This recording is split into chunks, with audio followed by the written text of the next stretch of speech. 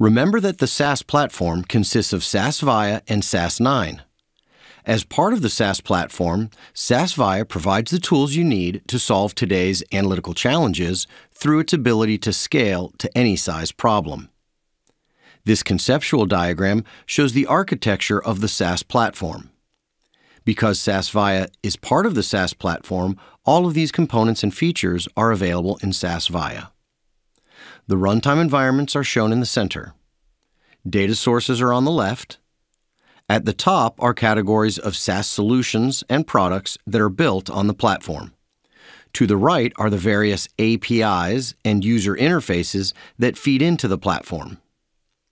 At the bottom are the platform environments where SAS can be deployed and a layer of IT compliance with regards to security, governance, and administration.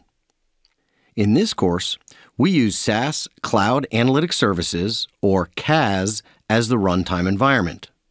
CAS consists of a controller node and a collection of worker nodes that manage and process distributed data of any size.